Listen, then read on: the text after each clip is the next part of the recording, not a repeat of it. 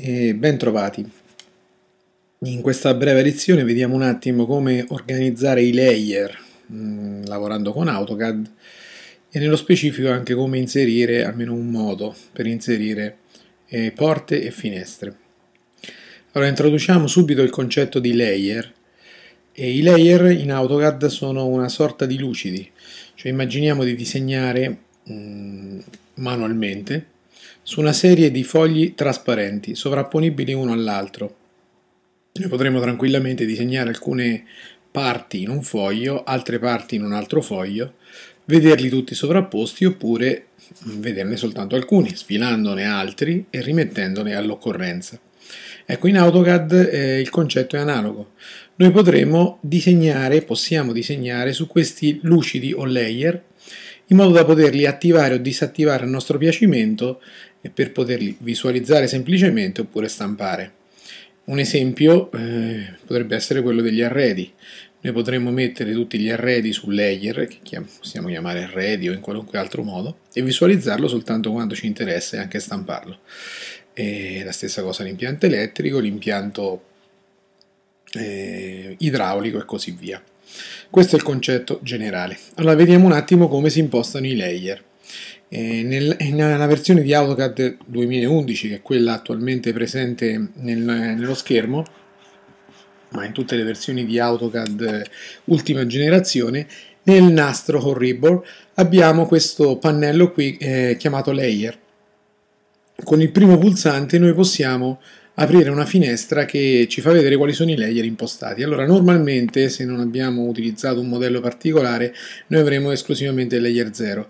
Il layer depth points è un layer di sistema possiamo dire così, cioè un layer dove AutoCAD va a inserire i riferimenti per le quote e le misure per cui non lo dobbiamo assolutamente toccare. Allora, per inserire nuovi layer c'è un apposito pulsante, eccolo qua, nuovo layer, appare il suggerimento. Cliccando possiamo eh, dare un nome a questo layer. Nel nostro caso eh, faremo un layer che chiameremo murature. Invio.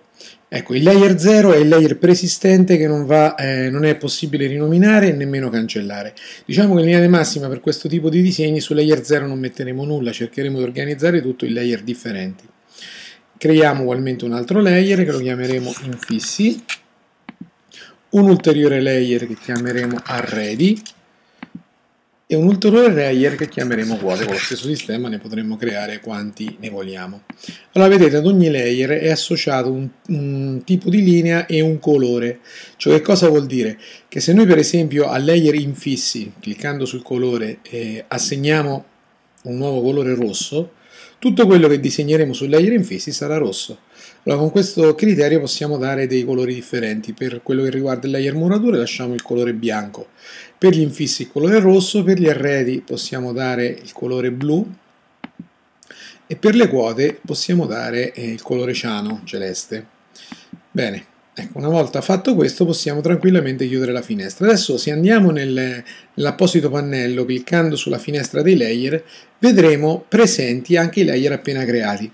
Il layer corrente, quello eh, in cui disegneremo, eh, sarà quello che cliccheremo da questa finestra. Se voglio disegnare sul layer infissi, ecco clicco e vedete automaticamente apparirà layer infissi, apparirà il colore rosso e così via. Occhio al discorso delle proprietà che sono qui al lato.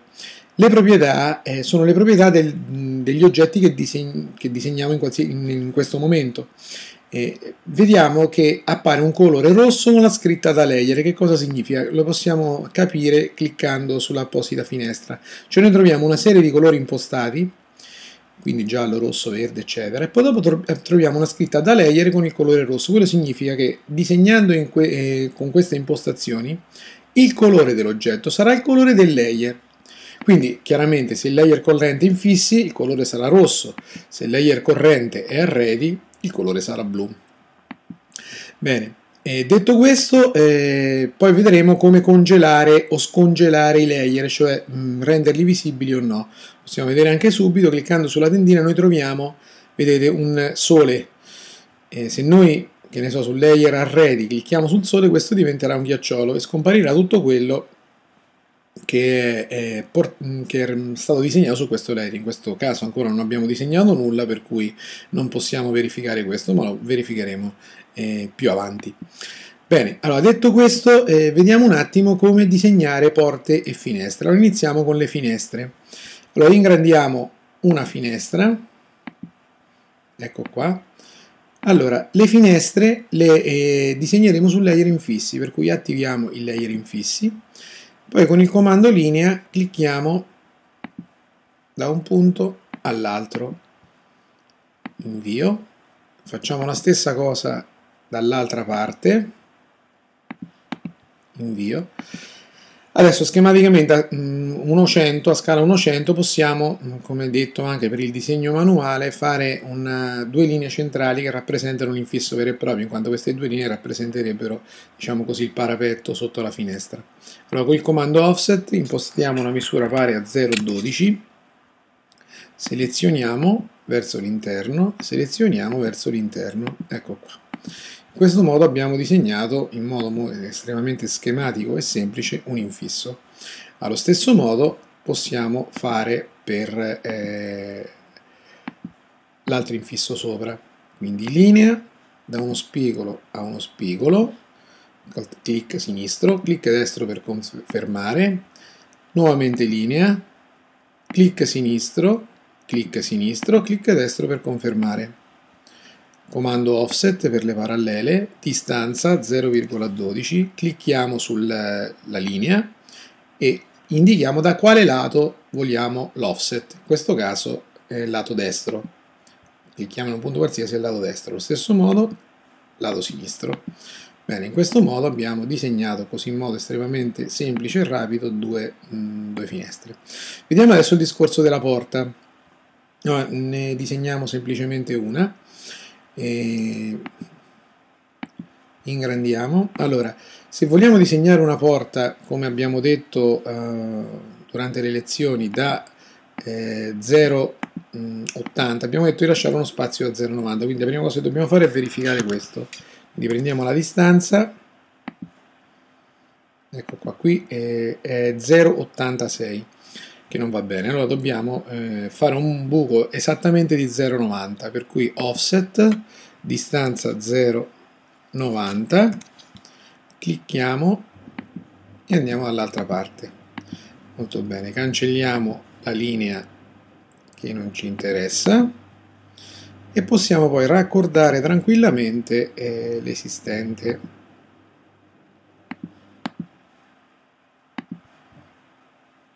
Ecco qua.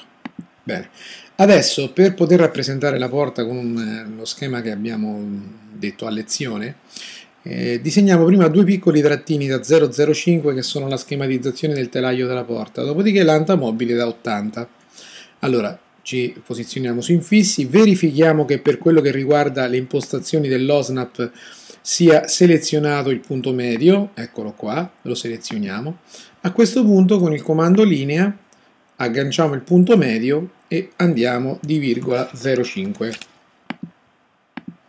Allo stesso modo all'altra parte, punto medio, virgola 0,5 e a questo punto possiamo anche salire di 0,8 e eh, abbiamo fatto. Adesso dobbiamo disegnare l'arco. Allora, per disegnare l'arco eh, esistono, ecco il comando arco lo troviamo qui, molte opzioni. Eh, l'opzione probabilmente più comoda per noi è l'opzione inizio centro fine, cioè clicchiamo su tre punti, il punto iniziale dell'arco, il punto cen del centro dell'arco e il punto finale dell'arco. Vediamo un attimo come funziona. Allora, primo punto, inizio, centro e fine. Ricordiamoci sempre che gli archi vengono disegnati in senso antiorario perché se avremmo cliccato come punto iniziale quello che poi è stato il punto finale, avremmo costruito l'arco nel verso precedente. Ecco, in questo modo possiamo rivedere il nostro disegno con uno zoom estensione, eccolo qua, magari ingrandiamo la parte su cui abbiamo lavorato. Ecco, eh, in questo caso possiamo vedere bene eh, l'utilizzo dei layer, nel senso che se noi ci posizioniamo sul layer 0 per esempio, ecco qua, eh, possiamo provare a congelare i layer infissi. Ecco, congelando i layer infissi, vedete, sono sparite le due finestre che abbiamo eh, fatto. E se congeliamo il layer murature non succede nulla. E ehm, adesso vediamo come spostare gli oggetti che sono stati disegnati nel layer, nel layer 0 nel layer murature. La prima cosa che possiamo fare è quella di eh, congelare il layer infissi in modo da non sbagliarci. Dopodiché noi andiamo a selezionare, prima ancora di dare un comando, ecco qua, tutti gli oggetti, non abbiamo selezionato questi sopra, tutti gli oggetti, vedete nel pannello layer ci viene indicato che tutta la nostra selezione è sul layer 0, noi la portiamo su, eh, selezioniamo murature e automaticamente premiamo ESC sulla tastiera, tutto sarà nel layer murature. Come facciamo a verificarlo? Adesso siamo nel layer 0, congeliamo il layer murature, eccolo qua, e vedete non rimane più nulla. Ecco, in questo modo abbiamo messo tutto nel layer corretto, cioè il layer 0 di riferimento sarà, eh, diciamo così, eh, vuoto, con nulla disegnato, nel layer infissi avremo tutte le murature, nel layer murature tutte le murature, e nel layer infissi le finestre che abbiamo appena eh, disegnato. Grazie a tutti per l'attenzione e alla prossima occasione.